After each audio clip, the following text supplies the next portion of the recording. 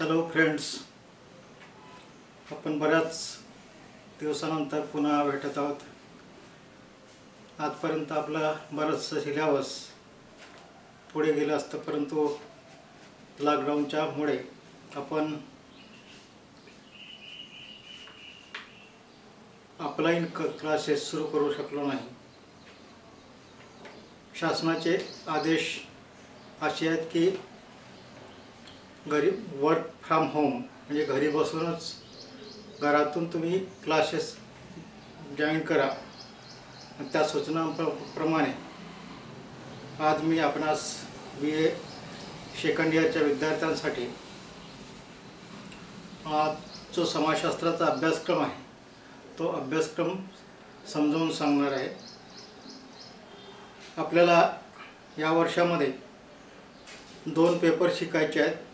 मागच्या वर्षी ज्या पद्धतीने दोन पेपरचा अभ्यास केला तुम्ही तशाच पद्धतीने यावर्षी दोन पेपर आणि एक स्किलचा हा पेपर आहे तो स्वतंत्र भाग असतो. तर या सिलेबसमध्ये जो आपलं सेमिस्टर तिसरं असेल हे आणि या तिसऱ्या सेमिस्टरसाठी जे दोन पेपरचे टायटल आहेत पाचवा नंबरचा paper Indian society structure and change. याचा अर्थ भारतीय समाज संरचना आणि परिवर्तन. आणि स- सहाव्या क्रमांकाचा पेपर आहे तो human rights and social justice. सामाजिक हक्क मानवी हक्क आणि सामाजिक न्याय असे दोन पेपर आहेत. या व्यतिरिक्त तुम्हाला एक पर्सनॅलिटी डेव्हलपमेंट हा स्किलचा जो पेपर आहे या प्रत्येक पेपरला जे गुण गुणदान क करण्यात आलेलं आहे ते गुणदानसुद्धा तुम्हाला सांगतो आहे पंच्याहत्तर गुणांचा पाचवा पेपर असेल त्यापैकी एंड सेमिस्टर एक्झामिनेशन म्हणजे सत्राच्या अंतिम टप्प्यामध्ये जी विद्यापीठाकडून परीक्षा घेतली जाते ती परीक्षा पन्नास मार्काची असेल. आणि पंचवीस मार्क तुम्हाला इंटरनल असेसमेंट म्हणजे कंटिन्युअस असेसमेंट सी ए असं म्हटलं आहे असं पंच्याहत्तर मार्काचा पेपर याला आणि मागच्या वर्षीपासून आपल्याला आपल्या विद्यापीठाने चाळीस बेस क्रेडिट सिस्टीम हे सुरू केली आहे. तर त्या अनुषंगाने या पाचव्या पेपरचे क्रेडिट तीन आहेत. पंचवीस मार्काचं एक क्रेडिट आणि पंच्याहत्तर मार्क असल्यामुळे तीन क्रेडिटचं हे सिलेबस आहे. ह्या या अभ्यासक्रमामध्ये मी जो पेपर शिकवणार त्या पेपरचा जो अभ्यासक्रम आहे तो तुम्हाला समजावून सांगणार आहे. हा यामध्ये भारतीय समाज संरचना आणि परिवर्तन पेपर नंबर पाच. हा, यात यामध्ये पहिलं चॅप्टर आहे.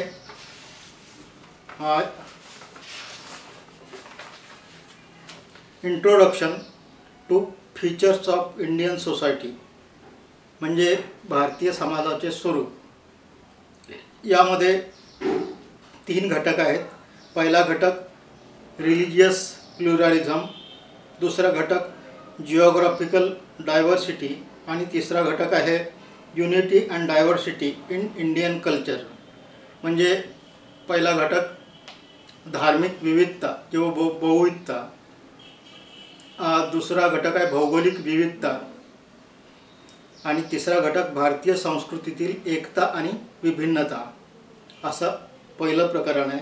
या प्रकरणावर पंधरा मार्काचं पे हे पंधरा मार्क या प्रकरणाला असणार आहेत.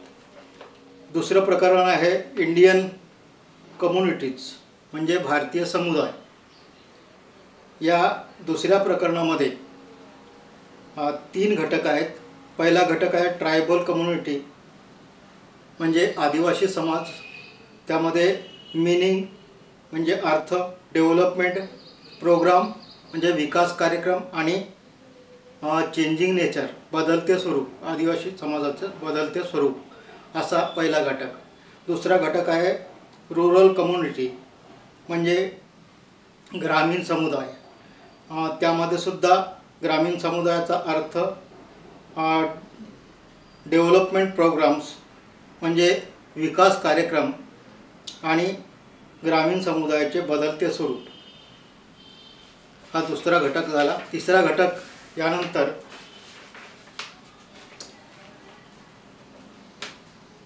Urban community. अर्बन कम्युनिटीमध्ये अर्बन कम्युनिटी म्हणजे नागरी समुदाय. या नागरी समुदायामध्ये त्याचा अर्थ नागरी समुदायाचा मिनिंग ऑफ अर्बन कम्युनिटी आणि त्यानंतर next challenges and difference between class and caste next challenges याचा अर्थ uh, पुढील आव्हाने आणि वर्ग व जाती यातील भेद. असं असा तिसरा घटक आहे. नागरी समुदाय. आणि या घटकाला सुद्धा या प्रकरणाला पंधरा गुण आहेत. त्यानंतरचं प्रकरण आहे social values in Indian society भारतीय समाजातील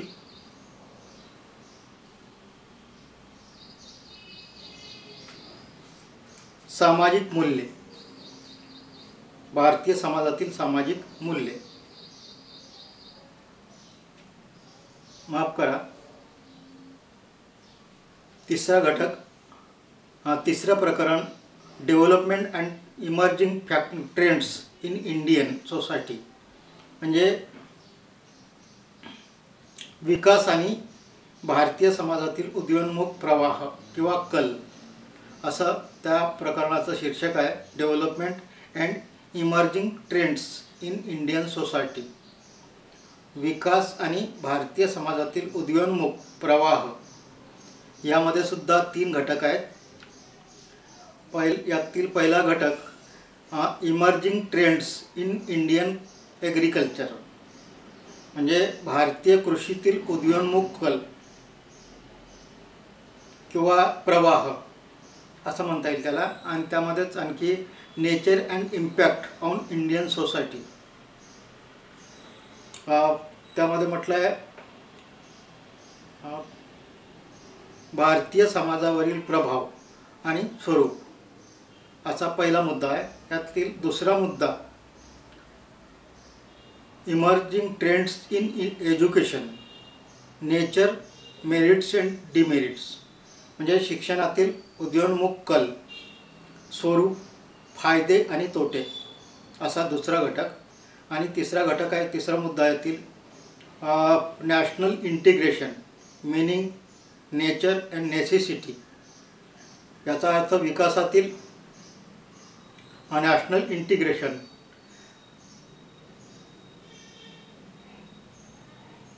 म्हणजे राष्ट्रीय एकात्मता अर्थ स्वरूप आणि आवश्यकता.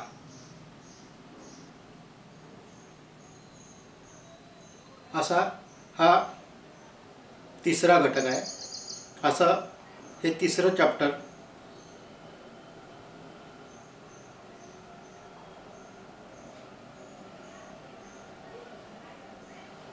या चॅप्टरला सुद्धा पंधरा मार्क गुण आहेत आणि पंधरा गुणांसाठी हे तिसरं चॅप्टर असणार आहे. यामध्ये तीन मुद्दे. पुन्हा एकदा समजून घ्या. Emerging trends in Indian agriculture emerging trends in education nature and may nature merit and demerits आणि तिसरा घटक इन्फ्रा इन्फ्रास्ट्रक्चर डेव्हलपमेंट म्हणजे याचा अर्थ विकासातील पायाभूत सुविधा. नेचर अँड नेसेसिटी म्हणजे स्वरूप आणि आवश्यकता. त्यानंतरचं प्रकरण आहे. प्रकरण नंबर चार social values in Indian society भारतीय समाजातील सामाजिक मूल्ये. कोणते आहेत? तर तीन प्रकारचे मूल्य अभ्यासक्रमात दिलेली आहेत. पहिला मुद्दा आहे सेक्युलरिझम म्हणजे धर्मनिरपेक्षता. Meaning importance and barriers of secularism म्हणजे याचा अर्थ अर्थ महत्त्व आणि धर्मनिरपेक्षतेतील अडथळे. असा पहिला मुद्दा आहे. दुसरा मुद्दा डेमोक्रसी डेमोक्रसी म्हणजे लोकशाही. लोकशाहीचा अर्थ आणि लोकशाही पुढील आव्हाने. Meaning and next challenges of democracy असा हा दुसरा मुद्दा आहे. आणि तिसरा मुद्दा नॅशनल इंटिग्रेशन म्हणजे राष्ट्रीय एकात्मता मिनिंग नेचर अँड नेसेसिटी अर्थ स्वरूप आणि आवश्यकता. असा या प्रकरणाला सुद्धा चौथ्या पंधरा गुण आहेत. आणि त्यानंतर पाचवं प्रकरण changing nature of modern Indian society आधुनिक समाजाचे बदलते स्वरूप आधुनिक भारतीय समाजाचे बदलते स्वरूप changing nature of modern Indian society यामध्ये सुद्धा तीन मुद्दे आहेत. या तीन मुद्द्यामध्ये पहिला मुद्दा आहे मॉडर्नायझेशन म्हणजे आधुनिकीकरण meaning and factors of modern society meaning म्हणजे अर्थ आणि फॅक्टर्स ऑफ मॉडर्न सोसायटी म्हणजे आधुनिक समाजाचे घटक. असा त्याचा अर्थ आहे. दुसरा मुद्दा आहे त्यातला ग्लोबलायझेशन जागतिकीकरण. Meaning and impacts on Indian society जागतिकीकरणाचा अर्थ आणि जागतिकीकरणाचा भारतीय समाजावरील परिणाम. किंवा प्रभाव असा म्हणता येईल. हा दुसरा मुद्दा आणि यातला तिसरा मुद्दा. Dis dis digitalisation. Di sorry digitisation. त्याला मराठीमध्ये सुद्धा दुसरा शब्द नाही. म्हणून त्याला डिजिटायझेशन असंच म्हटलं आहे डिजिटायटायझेशनचा अर्थ आणि इम्पॅक्ट ऑन इंडियन सोसायटी भारतीय समाजावरील परिणाम किंवा प्रभाव. अस हे हा तिसरा मुद्दा आणि या प्रकरणातील शेवटचा हा मुद्दा आहे. हे पाचवं प्रकरण आहे. या प्र पाचव्या प्रकरणाला पंधरा गुण आहेत. अशा प्रकारचा अभ्यासक्रम आपला तिसऱ्या सेमिस्टरचा पाचव्या पेपरचा आहे. जो सहावा पे क्रमांकाचा पेपर आहे human rights and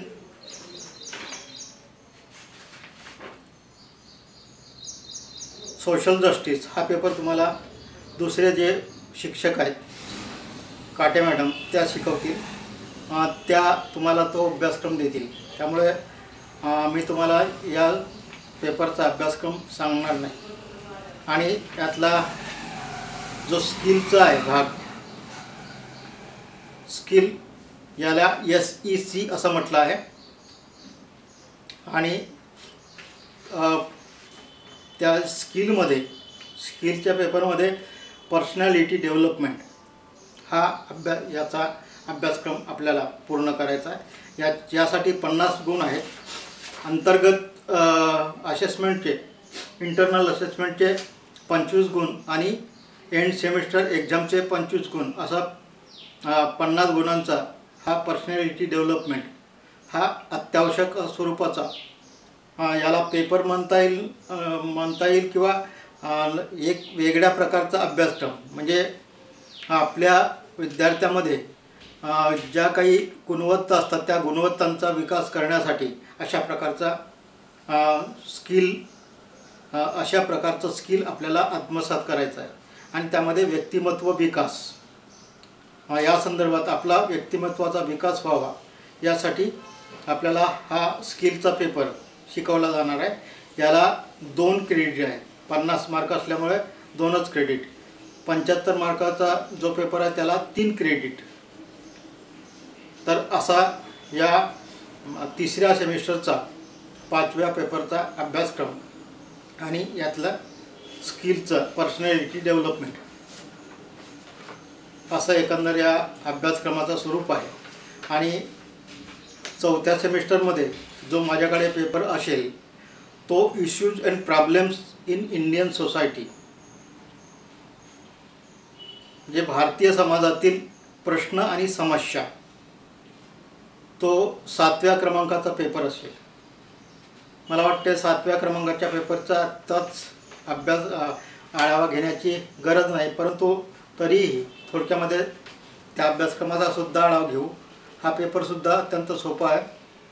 भारतीय समाजातील प्रश्न आणि समस्या. पेपर क्रमांक सात सेमिस्टर चौथं. पुढच्या सेमिस्टर म्हणजे दिवाळीनंतर येणारे जे सेमिस्टर असेल त्या सेमिस्टरमध्ये आपल्याला भारतीय समाजातील प्रश्न आणि समस्या यांचा अभ्यास करायचा आहे. त्यामध्ये सुद्धा पाच प्रकरणं आहेत. या पाच प्रकरणं थोडक्यामध्ये तुम्हाला याची माहितीसुद्धा सांगतो. पहिलं प्रकरण आहे introduction meaning and characteristics of social problems प्रस्तावना अर्थ आणि सामाजिक समस्यांची वैशिष्ट्ये. दुसरा मुद्दा त्यातला काजेस ऑफ सोशल प्रॉब्लेम्स म्हणजे सामाजिक समस्यांची कारणे. आणि तिसरा मुद्दा आहे यातला effects and measures of social problems म्हणजे सामाजिक समस्यांचे परिणाम आणि समस्या सोडवण्याचे उपाय. असं हे पहिलं प्रकरण आहे. यातलं पाचव्या सेमि तीस चौथ्या सॉरी चौथ्या सेमिस्टरच्या मधील सातव्या पेपरचं सिलॅबस हे या यालासुद्धा या प्रकरणाला पंधरा मार्क आहेत. पुढचं दुसरं प्रकरण आहे क्राईम अगेन्स्ट वुमेन स्त्रियांच्या विरोधी गुन्हे. या स्त्रियांच्या विरोधी असलेल्या गुन्ह्यांचा आपल्याला दुसऱ्या प्रकरणात अभ्यास करायचा आहे. आणि त्यामध्ये पहिला मुद्दा आहे रेप अँड ऑर्गनाइज रेप. म्हणजे बलात्कार आणि सामूहिक बलात्कार. आपण दैनंदिन जीवनामध्ये अशा देशाच्या कानाकोपऱ्यामध्ये घडणाऱ्या वर्तमानपत्रातील अनेक घटना बलात्काराच्या संदर्भात स्त्रियांच्या विरोधी गुन्ह्यामध्ये आपण पाहत असतो. तर त्यामध्ये बलात्कार आणि सामूहिक बलात्कार हा समजून घ्यायचा आहे. त्याचे कारणं काजेस अँड इफेक्ट्स. म्हणजे स्त्रियांच्या जीवनावर आणि समाजावर कोणत्या प्रकारचे परिणाम होतात त्या सगळ्या परम परिणामांचा आपल्याला या ठिकाणी अभ्यास करायचा आहे. त्यानंतर दुसरा मुद्दा आहे डोमेस्टिक व्हायलन्स अगेन्स्ट वुमेन. म्हणजे स्त्रियांच्या संदर्भातील घरगुती हिंसाचार. त्याचं स्वरूप आणि कारणे कोणती आहेत त्याचा अभ्यास करायचा आहे. आणि तिसरा घटक आहे.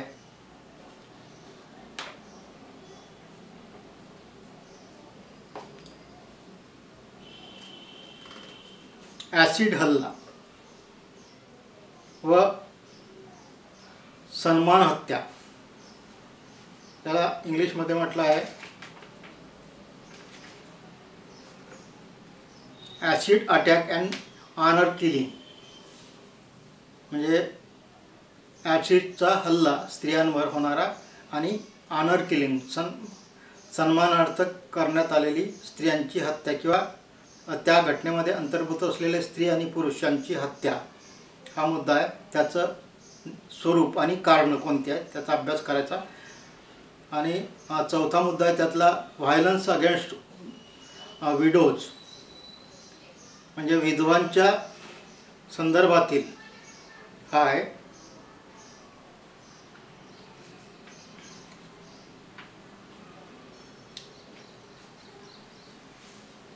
विधवाच्या संदर्भातील हिंसाचार किंवा अत्याचार विधवांवर होणारे अत्याचार त्याचं स्वरूप आणि इफेक्ट म्हणजे परिणाम आणि स्वरूप असा त्याचा अर्थ आहे.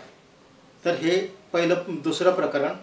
तिसरं प्रकरण जे आहे सोशल इश्यूज म्हणजे सामाजिक प्रश्न. यामध्ये सामाजिक प्रश्नामध्ये तीन मुद्दे आहेत. एक फार्मर्स सुसाईड दुसरा मुद्दा आहे सायबर क्राईम आणि तिसरा हेल्थ इशू फार्मर सुसाईड म्हणजे शेतकऱ्यांच्या आत्महत्या. त्याचे कारणं काजेस अँड प्रिव्हेंटिव्ह स्ट्रॅटेजीज म्हणजे शेतकऱ्यांच्या सम आत्महत्या थांबवण्याचे उपाय किंवा धोरण जे आहे सरकारचं त्या धोरणाचा आपल्याला या मुद्द्यामध्ये अभ्यास करावा लागेल. दुसरा मुद्दा आहे सायबर क्राईम. म्हणजे संगणकीय गुन्हे त्याची कारणं काजेस टाईप्स अँड मेजर्स त्याचे सायबर क्राईमचे संगणकीय गुन्ह्यांचे प्रकार आणि मेजर्स ऑफ सायबर क्राईम म्हणजे सायबर क्राईम सोडवण्याचे उपाय. आणि तिसरा मुद्दा यातला हेल्थ इश्यूज म्हणजे आरोग्यविषयक प्रश्न ज्यामध्ये व्हायरस रिले रिलेटेड प्रॉब्लेम्स सध्या जो कोरोना व्हायरस आहे हा सुद्धा व्हाय व्हायरस रिलेटेड इश्यू आहे. आरोग्यविषयक इश्यू निर्माण झालेला आहे. की आरोग्यविषयक प्रश्न निर्माण निर्माण झाले आहे. या प्रश्नांचा आपल्याला अभ्यास या प्रकरणामध्ये करायचा आहे. आणि त्यामध्ये इम्पॉर्टन्स ऑफ सोशल डिस्टन्सिंग म्हणजे सामाजिक अंतर ठेवण्याचं इम्पॉर्ट महत्त्व काय हे आपल्याला यामध्ये समजून घ्यायचं effects on human life life म्हणजे मानवी जीवनावर या सोशल डिस्टन्सिंगचे परिणाम आणि हे जे हेल्थ इश्यूज आहेत हे हेल्थ इश्यूज म्हणजे आरोग्यविषयक प्रश्न सोडवण्याचे जे उपाय आहेत हे उपाय आपल्याला या प्रकरणात समजून घ्यायचे आहेत. या प्रकरणाला सुद्धा पंधरा गुण आहेत. असे तीन मुद्दे या तिसऱ्या प्रकरणामध्ये. मध्ये चौथं प्रकरण आहे कम्युनलिझम याला अ, जातीयवाद. असं म्हटलं आहे. यामध्ये सुद्धा तीन मुद्दे आहेत. कॉन्सेप्ट ऑफ कम्युनलिझम म्हणजे जातीवादाची संकल्पना. कम्युनलिझम इन इंडिया भारतातील जातीवाद. हा पहिला मुद्दा आहे. यातला अभ्यासक्रमातील दु पुढचा क्रमांक दोन मुद्दा कम्युनल व्हायलन्स कम्युनल व्हायलन्स म्हणजे जातीय हिंसाचार. त्याला म्हटलं आहे. आणि या जाती हिंसाचाराची कारणं आणि परिणाम समाजावर कोणत्या प्रकारचे होतात त्याचा अभ्यास आपल्याला दुसऱ्या मुद्द्यामध्ये करावा लागणार आहे. त्यानंतर तिसरा मुद्दा याच प्रकरणातील मेजर्स ऑफ कम्युनल व्हायलन्स. म्हणजे जाती जातीवाद सोडवण्याचे किंवा कमी करण्याचे उपाय जे आहेत त्या उपायांचा सुद्धा उपाययोजना कोणकोणत्या करून आपल्याला भारतातील जातीवादाची जी समस्या आहे ती कमी करता येईल. हा याचे उपाय आपण या प्रकरणामध्ये शिकणार आहोत समजून घेणार आहोत. या प्रकरणाला सुद्धा पंधरा गुण आहेत आणि शेवटचं चॅप्टर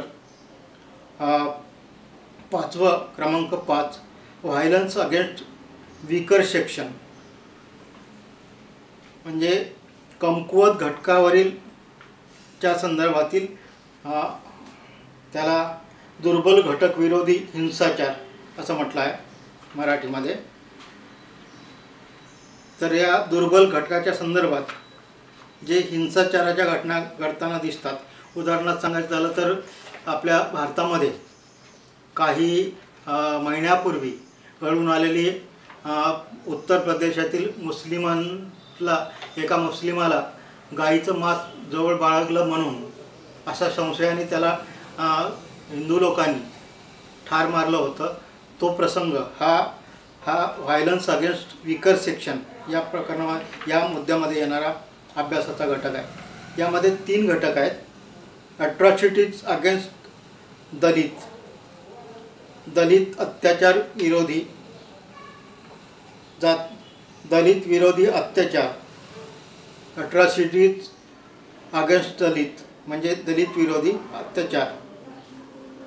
त्याचं स्वरूप नेचर अँड काजेस. कॉजेस म्हणजे कारणे. दलित अत्याचाराच्याचं स्वरूप आणि कारणे. त्याचबरोबर effect and necessity of atrocity act. Dalit अत्याचार विरोधी कायद्याचं महत्त्व किंवा आवश्यकता काय याचा अभ्यास आपल्या पहिल्या मुद्द्यामध्ये करायचा आहे. त्यानंतर पुढचा मुद्दा चाइल्ड ॲब्यूज म्हणजे बाल बालकांचे शोषण. चाइल्ड ॲब्यूज म्हणजे बालकांचे शोषण. त्याचे टाईप्स म्हणजे टाईप्स म्हणजे प्रकार. बालकाचे शोषणाचे प्रकार. काजेस अँड मिजर्स कारणे आणि ह्या पालकाच्या समस्या किंवा अत्याचार कमी करण्याचे उपाय. त्यानंतर एल्डर तिसरा मुद्दा जो आहे एल्डर ॲब्यूज म्हणजे वयस्काच्या संदर्भातील वडीलधाऱ्या लोकांवर होणारे अत्याचार किंवा शो वडीलधाऱ्या लोकांचं शोषण असं म्हटलं आहे. त्याला एल्डर्स ॲब ॲब्यूज म्हटलं आहे. A B U S E असं त्याचा त्याचं स्पेलिंग आहे ॲब्यूजचं elder abuse definition and preventing measures अर्थ डेफिनेशन म्हणजे व्याख्या आणि हे अत्याचार कमी करण्याचे किंवा शोषण कमी करण्याचे उपाय. अशा प्रकारचं हे पाचवं चॅप्टर हा चौथ्या सेमिस्टरमधील हे पेपरसुद्धा मी शिकवणार आहे. या या प्रकरणालासुद्धा पंधरा मार्क आहेत गुण आहेत. आणि या पंधरा पाची पंच्याहत्तर असा पंच्याहत्तर गुणांचा हा पेपर असणार आहे. हा issues and problems in Indian society. या दोन हजार वीस जूनच्या सत्रामध्ये आपल्याला हा अभ्यासक्रम या वर्षात सुरू करायचा आहे. आणि मी जे हा पेपर शिकवणार असल्यामुळे आपणाला हा सिलेबस अभ्यासक्रम समजून सांगितला आहे. पुढच्या तासापासून आपल्याला पाचव्या प्रकरणातील पहिल्या चॅप्टरला शिकायला सुरुवात करायची आहे शिकवायला. तर इथं आपण थांबूया. धन्यवाद.